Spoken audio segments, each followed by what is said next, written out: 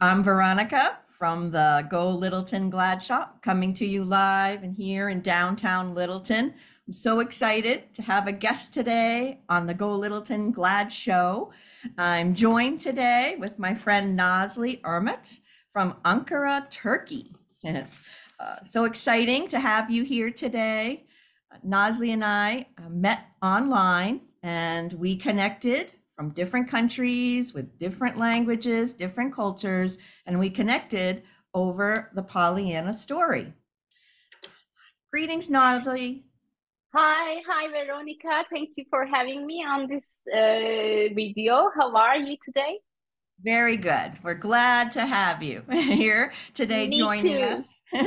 Yeah, been- me too. Thank you. Oh, great. It's been so much fun getting to know you. And Nazli is the author of her new book, Pollyanna Mutlu Muydu, which translates Great. Oh, great. I'm learning some Turkey and it translates to was Pollyanna happy? So, we're here today to discuss about her Pollyanna story and her book. So, tell us a little bit about yourself and why you wrote the book. Okay, thank you very much again. Uh, and it's been a pleasure to uh, talk on your uh, recording. And my, my name is Nazlı Ermut. I'm from Turkey, as you said. So, uh, actually, I am an economist already. Afterwards, I have been working in HR uh, business for almost 25 years in corporate world. Since 10 years, I am running my own consultancy and coaching business. Uh, writing is my uh, childhood dream uh, and my hobby until I start with my own job. And now uh, I'm writing professionally, and writing a book is again my childhood dream. I've been working on uh, positive psychology since 2015, the science of happiness. Uh, and I was thinking, what kind of book should I write? Uh, I was thinking about writing stories, writing a novel, uh, writing a professional book. But one day, somehow it came to my mind the Pollyanna. Uh, while I was working on a positive psychology, uh, she appeared in my mind because I have read Pollyanna maybe 10 times when I was a kid. Uh, I was almost at the same age as Pollyanna when I was reading the book. And I was so sorry for her because she had lots of, lots of terrible things happening to her, but she's still continuing with life. And I had difficulty in understanding Pollyanna in my childhood times. Uh, that day in my office, when I was thinking, she appeared in my mind as with the picture uh, up front the book, and uh, I started to think, oh, why why this little girl uh, is still uh, in the mouth of the people, adult world? Why they still laugh at her? Why some people say Pollyannish act? Oh, she's wearing uh, rose-colored glasses. She is only looking at the uh, full side of the glass, and she ignores all the bad things happening in the world. I said, is it true? Maybe it is not, because as far as I remember Pollyanna, it was very similar to uh, her attitude is very similar to positive psychology science. Then I decided maybe I should read Pollyanna again at this age and then start to see if she was really happy. And maybe I can write my book about, uh, not about, but on the footsteps of Pollyanna, uh, integrating the positive psychology uh, clues, integrating my own life experiences, and at the end decide if she was happy. So, how this book came. Wonderful. That's an amazing story that you went back to the Pollyanna story. I hear a lot of adults tend to reread it again and discover new aspects of it and really find it still a very thoughtful story. So tell us, what did you discover while you were writing this book? Ah, I discovered lots of things actually. May, uh, maybe I can share a couple of them now. Uh, for example, I noticed that some people are accepting being happy, uh, and they don't question it. They they look at the uh, things happening uh, positively in their lives. They are aware of what is going on in the bad side, but they can move on, like Pollyanna did. But there are other people. I, I made them in four categories in my book. Uh, they have some judgments, some uh, expectation, or some kind of thoughts about happiness. Some of them, uh, some of them uh, expect happiness to be something uninterrupted. They want to be happy. They expect to be happy without any interruptions. And, and if there is one single interruption in their happiness, they say it's not possible to be happy in this world. Some people uh, have a conditional happiness uh, judgment. By this, I mean, if something happens, I will be happy. If I get retired, I will be happy. If I go to the holiday, I will be happy. So they uh, tend to throw happiness into the future. So it's not possible to be happy now. So you lose somehow being happy. Uh, there are there are some people uh, with impossible happiness judgment. They say in this world with this climate problems, with these big fires happening all around the world, with this terrorism, it's not possible to be happy in this world. It's never going to be possible from now on. And the fourth category is uh, people say, good old days. I was happy when I was young. I was happy when I was married. I was happy when I'm done then. So it's always on the backside of the life and you cannot find it now. So I, I noticed there are four categories of people with uh, problem with happiness. What else I uh, find out uh, when I'm writing this book? I I noticed this is a good uh, finding for myself as well. Uh, I noticed that happiness and unhappiness can walk together uh, with this, what I mean, I mean, sometimes we think in order to be happy, we shouldn't be unhappy. But uh, I think uh, they can walk side by side and they can hold the hands of each other. Then it will be easier to move through the unhappy days, the sad days, the angry days, the, the bad days.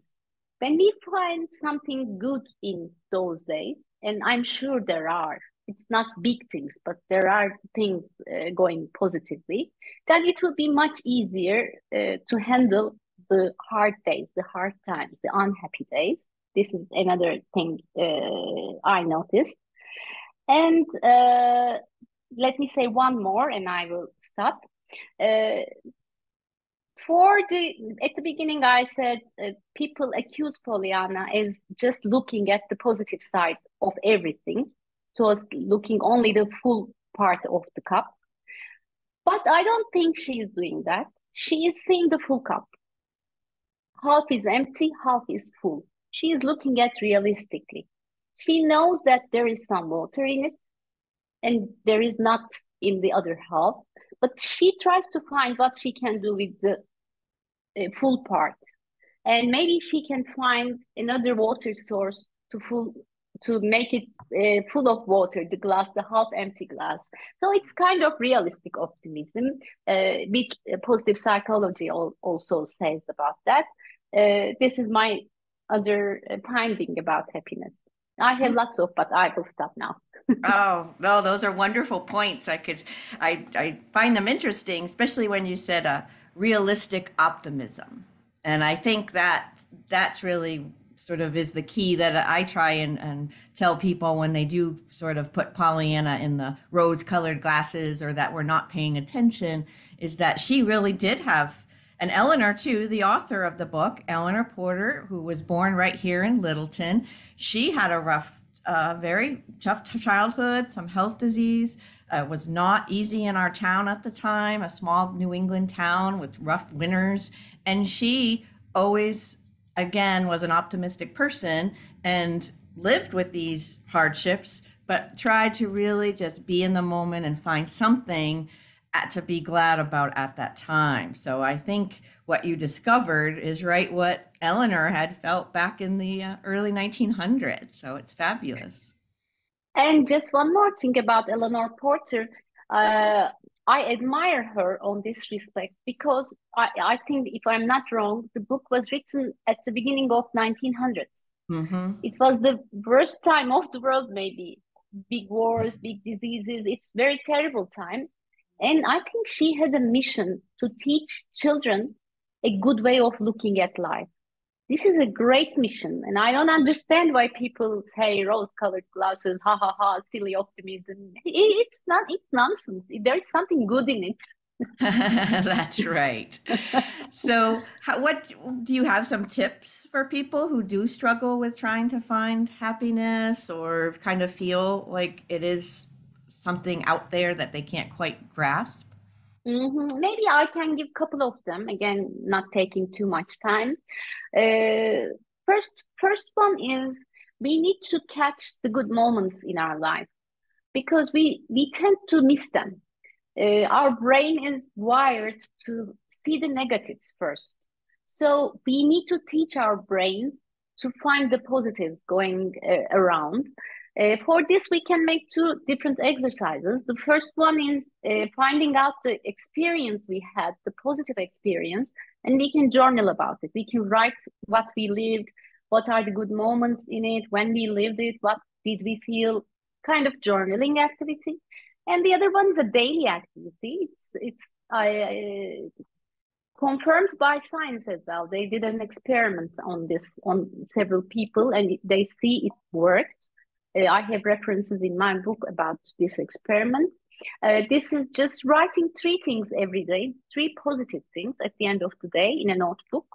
Uh, but every day, the point is here, uh, every day, those three things should be different than the day before. Oh, that's a great tip. Yes. Yeah, yeah. Maybe uh, this is uh, one of them. These two are one of them, and the other one is social relations. It's quite important for uh, having happiness and well-being in our lives, keeping good social relations with other people, helping them. Uh, this is what Pollyanna does in uh, her story a lot. Uh, and there is again another experiment done by Harvard University. Maybe you heard about it. That very long experiment. It's like um, I, I forgot it.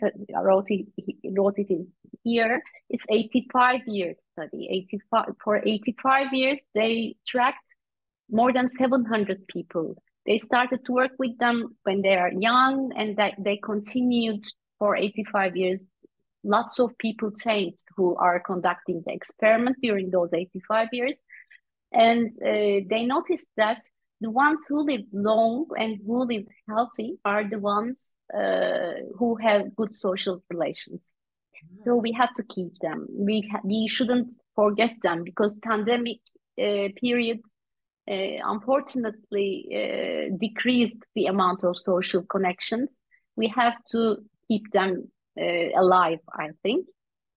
Uh, and what else I can say? And oh, I can tell from the book uh, the my good old happiness formula. Mm-hmm.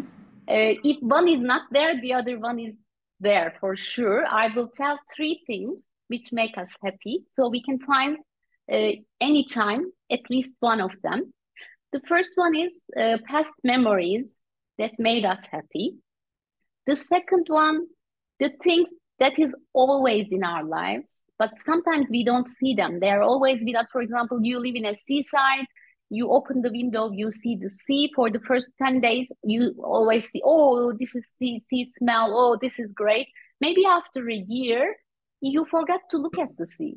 Mm. So uh, it's always with us, we should look at it. And the third one is there's always something new happening in our life that make that can make us happy. So we have to find and see those uh, newcomers. But in order to do all of these, we have to have our own happiness definition. Otherwise, it's not easy to find what we are looking for. Uh, we have to maybe write down our uh, happiness definition and uh, keep it somewhere visible for us. Uh, one more thing I remembered, Veronica, That's the happiness jars. Oh, yes. And you have it in your glad shop, I know. Uh, that's another good thing to share, especially in schools, in families, uh, to uh, make our happiness more and more. It's a small jar, uh, any size, and uh, you can write the happy moments uh, in small papers.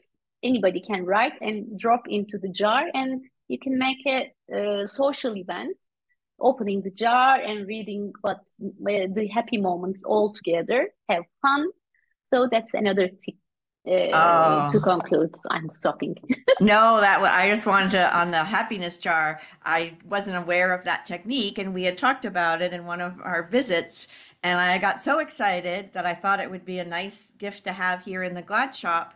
So i found little jars and got a little jar of positivity happiness jars with little pieces of paper that you can uh, write something happy on and fill your jar. And I have to say that it's been well received, and we're we're looking forward to sharing happiness jars all over the world through here. So Great.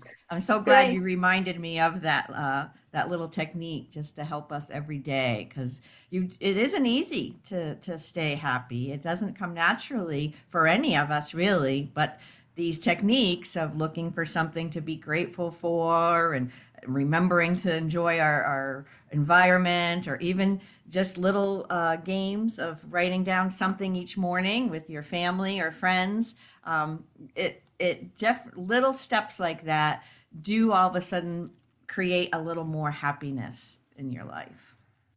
Yeah right? yeah. So I and I also wanted to point out, and when you were reading in Pollyanna and um, in the the books you were reading, they call they say it's happiness. Like we always say, it was gladness Glad. in America. Which, um, but you were saying that it is in the in the books you were reading. It is called she was happy or happiness. Yeah, yeah. And also, we shouldn't forget about, as you said, glad. I remembered that reminded me the glad game. Mm-hmm. That is the, that is the basic tip for, from Pollyanna to all of us uh, to find gladness in our lives. She yeah. she is great at that game, and she is great at teaching that game to the others. So yeah. spreading her positivity to the other people. So that's another great point. It is, yeah, to just find one thing to be glad about or happy about each day it is easy. You can tell people. I tell people in the shop all the time. I'm always explaining the Glad game, uh, and I, I am a player every day. I try to find Great. something to be glad about. So. oh, those are wonderful tips for all of us. And what did you uh, officially discover when you were writing your book? And the question is, is was Pollyanna happy? Did you? Uh... okay, that's a good question. Yeah, I, I didn't write it until the last chapter. And last chapter of the book is uh, belonging to Pollyanna. First, Pollyanna and the science, and the, the uh, very last chapter is called Pollyanna. What did you do? uh-huh. And uh, according to me, uh, in those hard days, she is uh, successfully being happy because it is really a success story, I think. She lost her mom, her dad. She's living with a very angry and sad aunt. But within all of those circumstances, she's always finding something. She's changing her physical space to feel happy. Uh, going to people, giving her love, uh, explaining about the glad game. She's finding everything that can make her happy or glad uh, so she but she was happy i'm sure and she had a very good uh, point of view for the kids. Mm-hmm. and uh, kids should continue to be taught about that. As parents uh, if some of the people uh, watching this video are parents they should try to teach those tips to their children even if they cannot read or write. For example every night going to bed they can ask what are the three things that are good for you? As they come back from school, what happened in school today? Three good things, please tell me. Uh, so it is, if we learn it, if we train our brain uh, for that kind of uh, looking at life, it will be much easier. But I want to say one more sentence about this. Uh, for this is for people who say, "Am I have to be happy?" It is not something obligatory. It is the choice of the people. You can be or you cannot be. But uh, the, the only thing we should keep in mind that uh, this kind of happiness, this is I, I'm talking about the happiness which is within us, uh, not mm, happiness purchased. Uh, the happiness within us is important for all of us, but it depends on the person. They can choose to be happy or choose to be uh, unhappy. So this is my uh, point about in, within the book. This is the point as well.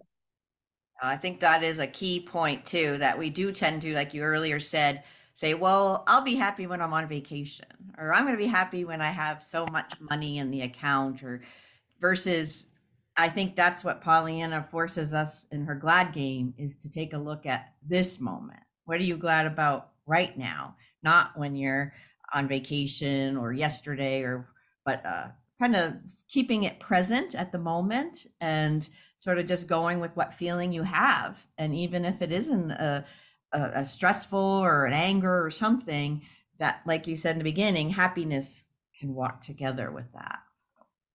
Yeah. Those are great. That is great uh, points. And we're looking forward to learning more about your book. Are there any questions or anything that I forgot to ask about your book or your work or? Uh, I think not. Just one thing about uh, the the plan that we share. If I can successfully finalize it, we are planning to uh, translate the book into English and then self-publish, and maybe it will be in your glad shop someday. Uh, that's yes. my uh, dream now about the book, sharing with English readers. That would be see. fabulous to have it here on sale. Um, but they can, if anyone um, wants the Turkish edition, they can buy it on. Where can they buy it now if they wanted? They can buy it online from Amazon. Okay. It is already in sale in Amazon. Great. And yes, we're working together to uh, get it translated. And then maybe we'll even have Nazli over to Littleton for a book signing event. Well, oh, our, that's our great. yes, let's put it here and watch it someday. that's right. And we'll broadcast it live to the Glad Club. Yes. So, yes. Well, I really enjoyed our time today and just find it fabulous and amazing that around the world, uh, the Pollyanna story does speak to each and every one of us. And you're sharing the gladness and the happiness through your work the same way that I'm sort of sharing it through the, the funny glad shop and with visitors to Littleton. I think each and every one of us find our own way to, to connect to the Pollyanna story. So Yes, yes, Great. yes. And thank you, Veronica, for your responsiveness because I just wrote an email to you uh, telling about my book, and then we got friends. And so thank you for your uh, kindness on this. Wonderful. It's been a it's been a bright spot and some tough a tough year. So yes, great. Yes. All right. Well, thank you, and we will see you uh, hopefully soon, and uh, and we'll share this with our Glad Club and be glad.